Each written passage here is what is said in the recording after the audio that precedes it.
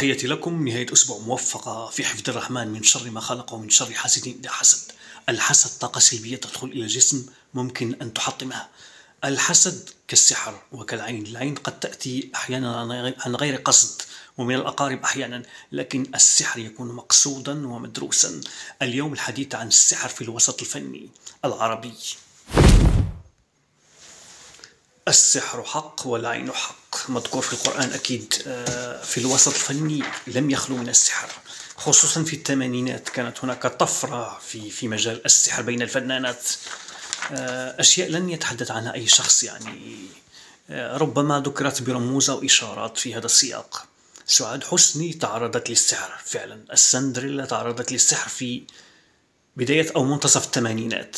سبب لها ذلك المشكل في في العصب السابع بجانب العين يعني وكان يؤثر حتى على شكلها وعلى أدائها يعني. آه، غير ما لاحقها من طاقة سلبية ومرض وتعب صحي ونفسي وفشل متتالي يعني سببه طاقة سلبية دخلت عليها. السحر آه، من طرف فنانة منافسة لن نقول الاسم أكيد يعني.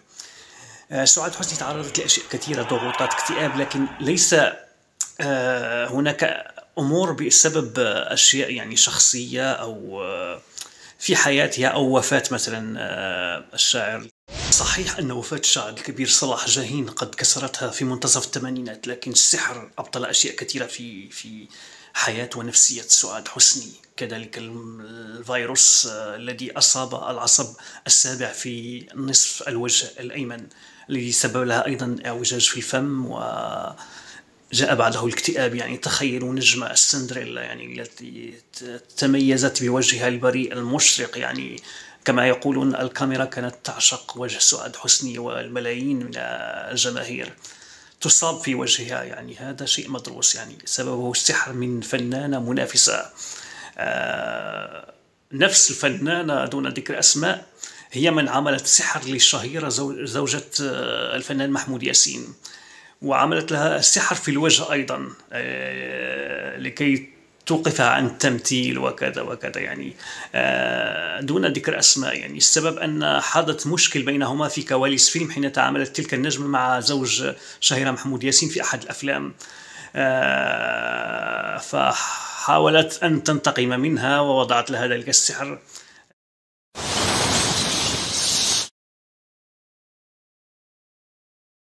والفنانة الشهيرة ذكرت ذلك في أحد اللقاءات لكن دون ذكر اسم تلك الفنانة أكيد لن نذكرها فنانة أخرى تعرضت للسحر الفنانة مديحة كامل منذ منتصف الثمانينات وهي تعاني من نزيف داخلي.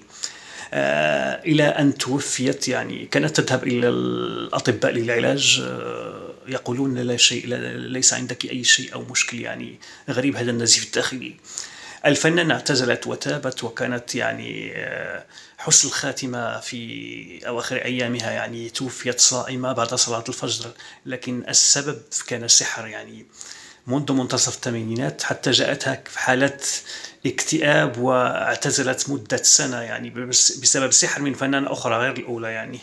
آه، لن أقول الاسم. تلك الفنانة الغريب عند وفاة مديحة كامل حضرت تلك الفنانة وقامت بحركة يعني كأنها تبين تعاطفها مع وفاة مديحة أو حزنها لكن أنا قرأتها بشكل آخر كأنها كانت تطلب السماحة والصفح من مديحة كامل لأنها أدتها فعلا. فنانة أخرى تعرضت للسحر والعين والحسد أدى إلى توقفها لفترة وابتعادها عن الوسط الفني. هذه الفنانة هي صابرين. بعد النجاح الساحق لمسلسل أم كلثوم آه، حياة صابرين قلبت رأسا على عقب يعني. آه، نزاعات آه، تعب نفسي آه، طلاق وانفصال يعني أشياء كلها تغيرت للحظة في حياتها. كان بسبب ذلك سحر وعين وحسد. فنانة أخرى عانت من موضوع الماورائيات هي الفنانة الاستعراضية شريهان لست متأكدا من موضوع السحر. قد يكون بشكل من الأشكال لكن الحسد أكيد يعني الذي أصاب وجهها يعني في سرطان في في الفك يعني. هذا مرض نادر جدا السبب أكيد عين وحسد دون منازع. وفي الوسط الإعلامي عانت الإعلامية ريهام سعيد من طاقات السحر كثيرا ولا زالت تعاني يعني. شخصية يعني مضيئة تقوم بأعمال الخير أكيد يعني. تعرضت لأسحار من من جهات عدة ليس فقط من الوسط الفني الوسط الفني والإعلامي وغير الإعلامي. والمؤكد هذا السحر أثر على حياتها وعلى الاجتماعية وعلى صحتها أكيد يعني وعلى حياتها العملية كذلك. فنانة أخرى تعرضت للسحر مؤخرا ياسمين عبد العزيز.